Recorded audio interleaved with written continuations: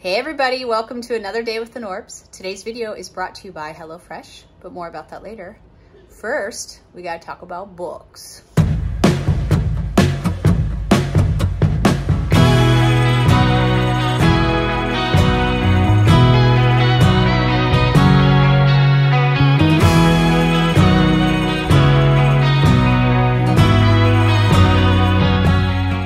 In one of my previous videos, I redid a spot in my bedroom and I talked about my books and I asked you guys if you wanted me to do a book organizations tour idea, whatever. Heard from a lot of you that you did, but I also heard from a few of you that officially it's you call it a library when you have over a thousand books. And so last night, late last night, I was so obsessed with the idea of being officially having a library that I went to all through all the rooms in the house and I counted how many books I have. And let me check. I can't remember how many it was. I have 1,222 books in the house, not including some books I have in storage because I don't have a place for them. So yeah, I am a librarian.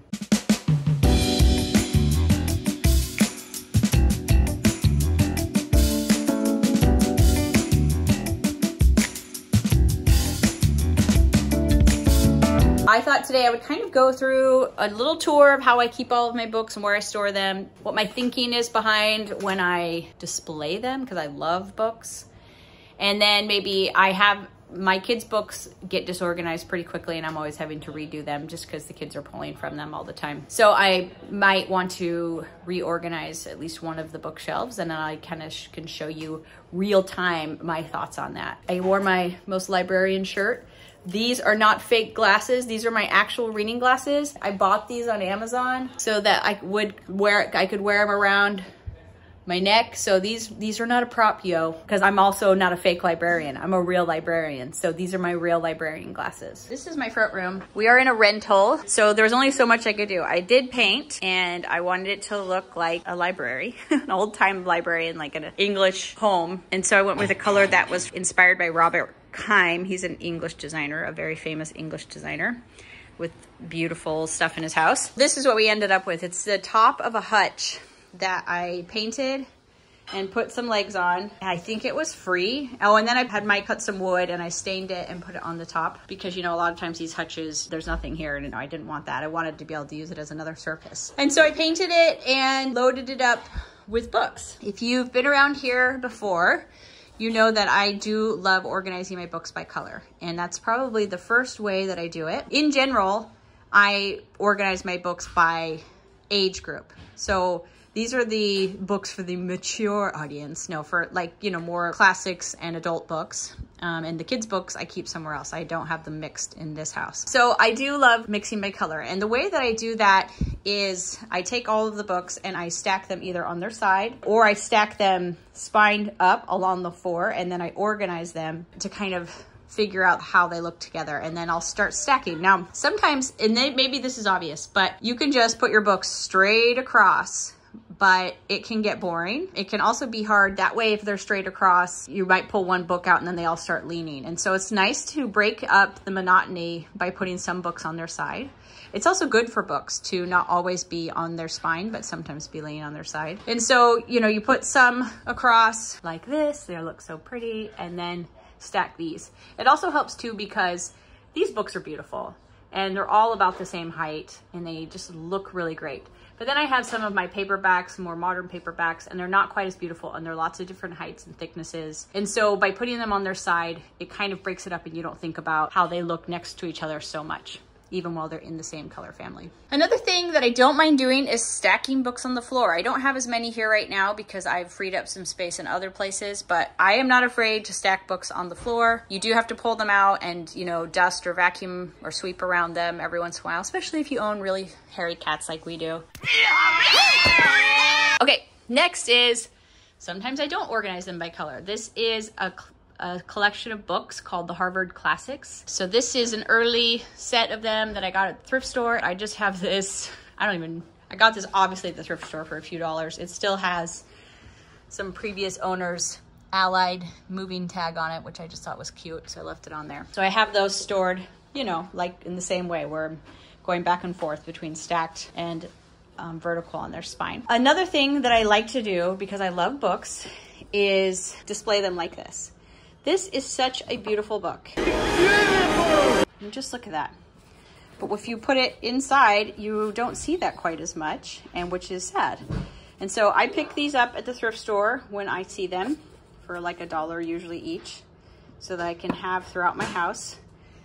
Beautiful books there. Throughout the year, I can change up what books I'm displaying like that. So they can be, you know, at Christmas time, I can have a red book there or a green book. Or in the fall, I can do maybe a book that's more Halloween colors or fall colors. So I like that. And it, it just, in general, I like to change up my decor and using books is a great way to do that. Another thing that I found recently were these plate, um, what are these called, guys? Uh, that you hang on your wall. Sconces. I think they're supposed to hold a plate. But I thought, wouldn't it be even cooler to take some of my favorite books and put those on the sconces? So I have two. Unfortunately, as I was putting this one up, I broke it. But I still put it up and it took this beautiful copy of Leaves of Grass and put it in there. And I love this vintage children's book. And I just think it looks so pretty. Another thing is I always keep my eye out for good bookends because that way I can have a collection of books set as part of the decor of the room and just use them as a backdrop throughout the house. Another thing I do to, keep books around the house is use them as little platforms in my decor. And I guess probably a lot of people do this, but I try these days not to have any books that I actually don't love. And so you can find pretty books, but you can also find pretty books that you love and that you will read or will look through. It's also just fun, like I said, because right now I have white ones, but then I get tired of that and I can switch them out for other colors or bring, maybe I find a new pillow to go on this sofa but I want to bring that color in over here or whatever. And so I can switch out these books and do so. And yes, I know this is a little bit shoved in here, but this room is kind of small and awkward and I needed more books and light storage. So another way that I keep my books is on footstools. Um, sometimes you'll see footstools at thrift stores and you'll think, why would I want a footstool that doesn't match a chair?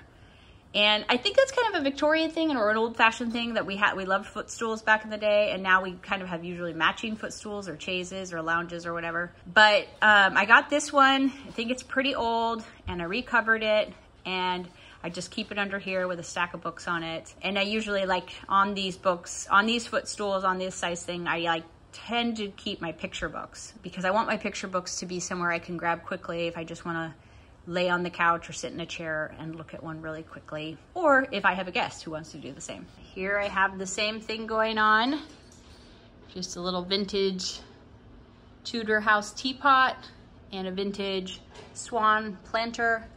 But this table is different because it has this little section and I just stuffed it with some of my favorite beautiful books and that way I can just slide one out and look at it. And I think it's cute. I think it makes a room cozy to have stacks of books in it. Okay, another thing I do is I have this old bench, really old bench that I found. And I put on top of it a fruit box, an antique fruit box that I inherited from my parents. And I filled it with the books that I, I just love home decor books. And so I wanted them to be something I could grab easily and just be able to look at. It's cute and it's an easy way to access the book and see it. You can find baskets and boxes all the time at thrift stores and antique malls. So.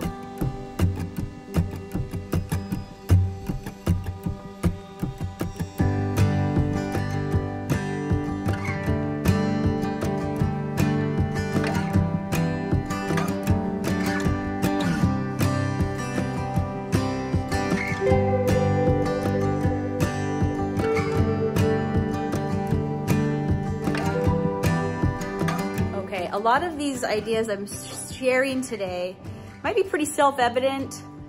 I think probably if you're a lover of books, you're doing a lot of these things, but I also think it's nice to see other people doing the same thing sometimes. I believe that putting glass in front of books makes them way more beautiful. I don't know what it is. I think it's kind of like it creates this little secret like place that you want to explore, like what's in there. And so even though the glass is missing from this antique desk, secretary desk, I still think it creates that feeling. So let me show you. I kind of put all of my gardening books in here because in the spring because I wanted this to be a little springy vignette. And so I have these books on different plants. I've got a lot of gardening books right inside here. Love these ones. I often display these um, forward facing because they're so pretty and I love them so much. Um, did I mention that I get almost all of my books from the thrift store? And then, but I did throw these in here. They're just a really pretty set of some classics. And then all of these field guide books I love put those in there too. Another thing that I like to do is when I have a beautiful book, even if I don't have one of those stands, I still will just open it up and face it forward because some books are so beautiful, they're meant to be seen and it would be sad to turn it on its side. Do you like how I'm using some sticky tack to keep this closed? I do, because it works. That's a sweet little cabinet. I love this one. An old English secretary desk with lots of treasures. So here's my entryway. Here's the last piece I just showed you.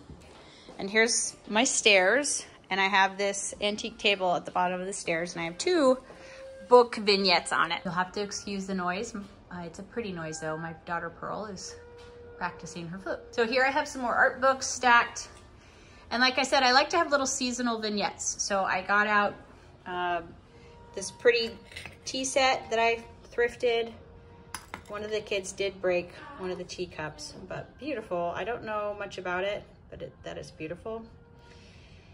And a little milk glass hand, and then a an original painting. I think it's watercolor. Very sweet. And I keep it on this little Victorian stand. And this is probably gonna be changing the next month or so to be more fall themed. I have a bunch of vintage Nancy Drew books, as well as a Charles Dickens book, some antique glasses that I thrifted. I don't know if anybody but me even notices there's antique glasses sitting on top of these books, but it makes me happy. Over here, I have an antique butler's desk. This actually folds out and turns into a desk. I'm not gonna do it right now because I only have one hand. This is a single book, but there was this beautiful, huge dictionary in such a great sagey green with some cat hair on it. So many cats. Um, and then this great blue and I knew I wanted it. It might look silly on a bookshelf because it would just take everything over, but it is a great platform for displaying different things. So, you know, if you see a big, beautiful book, don't worry, you can store it. It can be all by itself, just being pretty. This is my mantle and it's also always changing because I like change. Though always that stays the same is that I have books up here. Sometimes I've had more books so I have a more full spectrum. But last Christmas, I took out all of the books except for these colors. I took out all the pinks and the purples and then they just never made it back in. And I did thrift these amazing um, geode bookends. And I love the way that it looks. It's fun. It gives you that hit of rainbow. I love rainbow. I don't know about you guys, but it also looks kind of studious and cozy.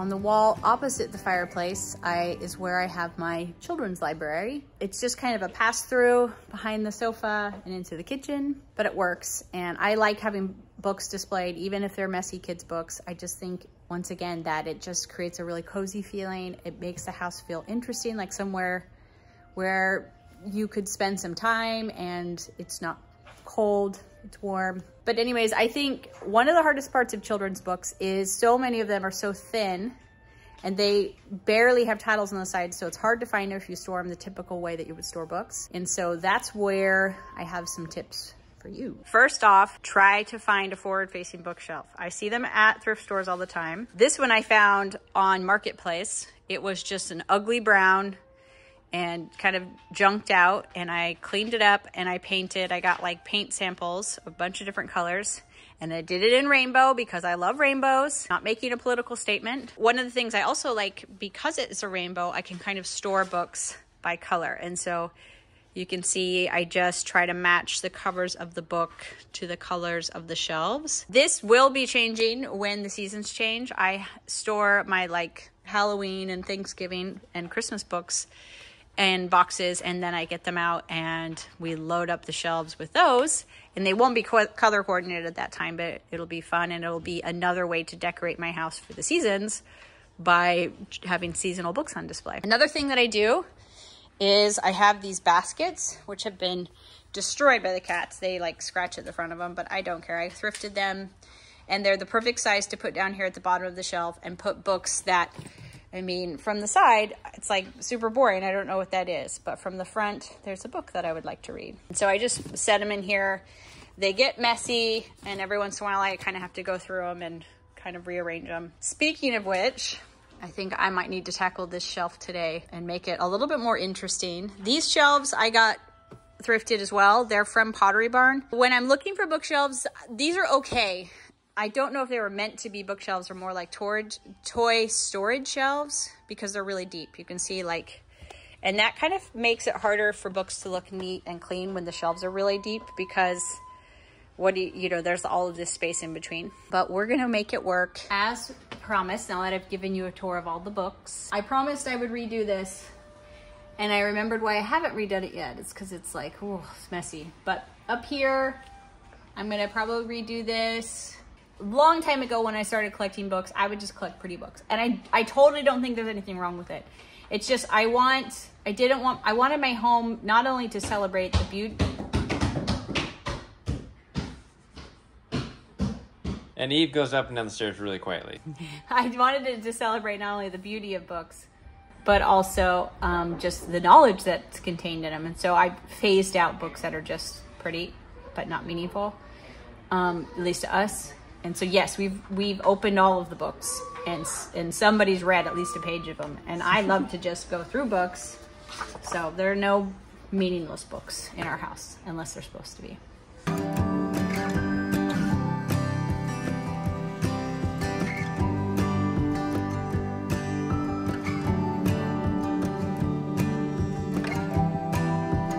I am getting closer and it looks better than it did, that's for sure. Okay, cleaned up the floor. The shelves are done.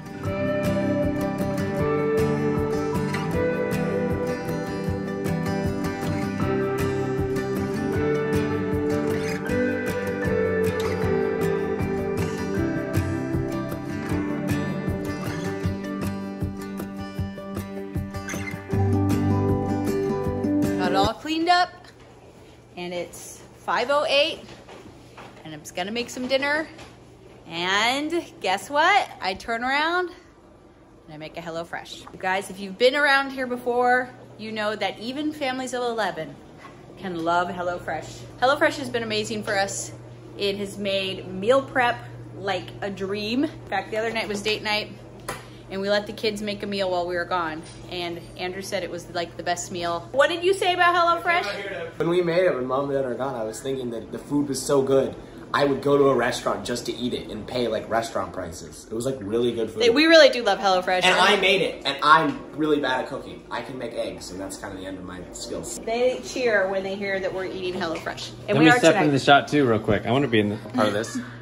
What do you I have think, to say? I think we need to tell them what it is in case they don't know. Okay. So I'm going to explain this real quick. HelloFresh, woo, give me this. HelloFresh is a meal delivery service. The food comes delivered to your door in a box. That's and it's it's pretty cool. It's like an insulated box. It has uh, little ice packs in it to keep everything cool. So you open up the box, you get the meals out. They come in these cool bags. All you gotta do is take the, the bags out, put them in the refrigerator, and then when you're ready to go, you make them. Pull out the recipe card. Shows you the meal, all the ingredients. They're there. Really simple instructions on the back. Otherwise, yeah, HelloFresh is great. Makes it so you have the ingredients you need. It's it's pretty quick to make. They taste really good. Saves you money, saves you time going to the grocery store, all that good stuff. This is what we're making tonight. We're making taqueria pork bowls with corn esquites or esquites, sour cream and cilantro. Sounds good. And esquites is a Mexican street food with corn, mayo, chili powder, cheese, and lime. Ooh. Oh my. Yum, yum. Okay, let's make it.